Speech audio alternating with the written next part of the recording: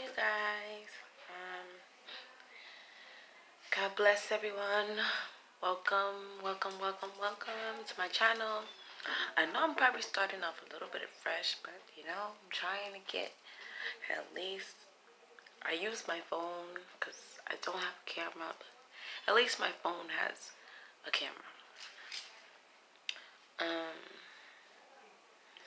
to my beautiful daughter, I love you so much. Um, you're everything to me. Um, I love you more than anything. You are my best friend, my lover, everything. Um, I don't know what I would do without you. Um, I know that you're sleeping in the room.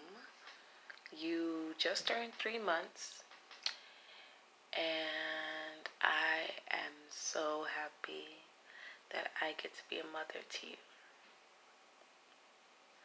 When you were born, um, you meant nothing but the world to me.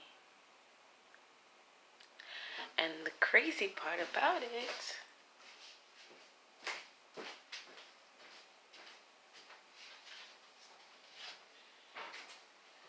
you have not hurt mommy. I remember when you were in my tummy and I just couldn't. I remember when I first found out I was pregnant with you. I found out May 26th was the day I found out I was pregnant. And I could not stop thinking, oh my gosh, I'm gonna be a mom. And I was so afraid that I didn't know how I was gonna be a mom to you. But then, in the same sense, I remembered you being in my stomach, moving in my tummy. You moving in my tummy. That it was nothing that I didn't know, that I couldn't resist the fact that I knew I was going to be a mom.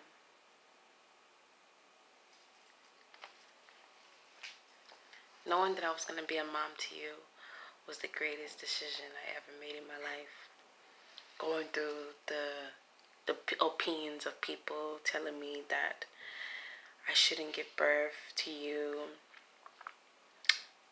um, that it was going to be hard.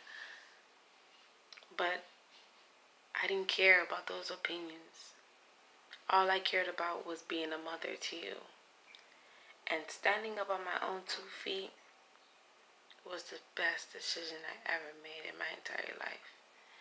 This year of 2020, you were born on the 7th. You were supposed to be born on the 10th, but you ended up coming on the 7th, which was weird. But I had this weird pain where you were pressing hard on my bladder and it hurt really, really bad. And I knew that maybe it might be labor it was a contraction. Something that's happening that you were coming out of mommy's tummy. Um, you're my first daughter, my first baby, and I can't believe that I'm I was I was having a girl. At first, I thought you were a boy. But then I kept saying you were a boy. And then when I did my ultrasound,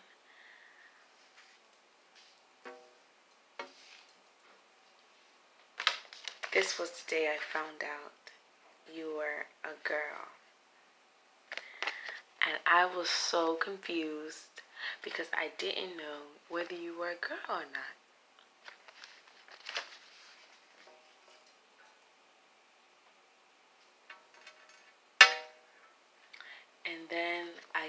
Officially found out you were a girl. And I could not. I was so happy. I was so happy. Even though sometimes you can be a er sometimes, knowing that you're sleeping in mommy's room when you like to sleep in mommy's bed and you don't like to sleep in your crib by yourself. So you like to be underneath mommy 24 7. This day, you had your booty up, your little feet, and your booty. That's your butt. this is your forehead and your head. I was so in love when I found that I was pregnant. And